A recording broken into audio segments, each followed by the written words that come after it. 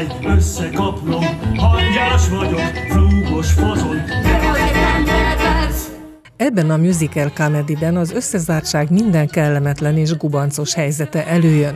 A hat személy egóját dominálja, miközben a pszichológust várják, aki azonban nem jön. Natasa egy látszólag csacska bugyuta, egy unatkozó feleség típus, akinek azonban megvan a magához való esze. Ilyen együgyű teremtésnek tűnik, de hát azért ez a történet jó sok csavarral rendelkezik, úgyhogy azért Natasának is így a történet során szépen felszínre kerülnek a, a tehát felszínre kerül a többi személyiség jegye, és én azt gondolom, hogy hogy ő egy szerethető ember, azért az összes többiek öten mindenki egy-egy pillanatban megbántja a másikat, vagy egyszerre több embert is. Most, ha így gyorsan belegondolok, szerintem Natasa az egyetlen, aki egyik kölyüknek sem mond bántó, vagy adott esetben sértő megjegyzés. Tehát ő azért egy tiszta lelkű nő.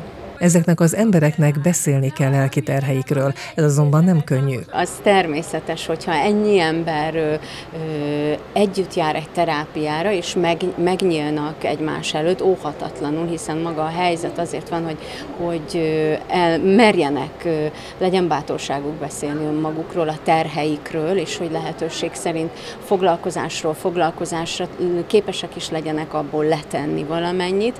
Így így nyilván össze is rázódnak ezek a közösségek. Én nem jártam még csoportterápiára, de különböző terápiákra igen, szerintem őrületesen jó dolog, és én magam nagyon-nagyon hasznosnak érzem azt, hogy, hogy ne csak a fizikumunkkal foglalkozzunk, hanem a lelkünkkel is. Humoros részletek, váratlan szituációk sora teszi izgalmassá produkciót. Mindenki küzd valamilyen problémával a rendkívül mozgalmas előadás során. Sisi a másik különc figura. Mindenkinek megvan a, a maga baja, a maga sajátossága.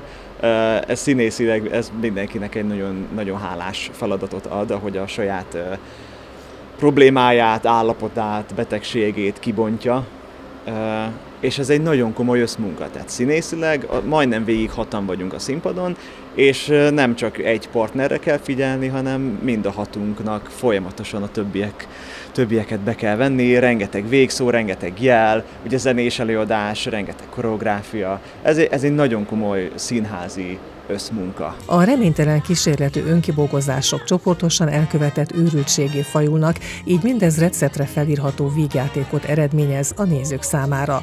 A csoportterápiát a Kaposvári Csiki Gergely Színház társulata hozta el Pécsre a Káptalan kertbe. A Pécsi Nyári Színház legutóbbi produkciójáról bővebben a Panon Televízió Pécsi Kör című műsorában értesülhetnek nézőink.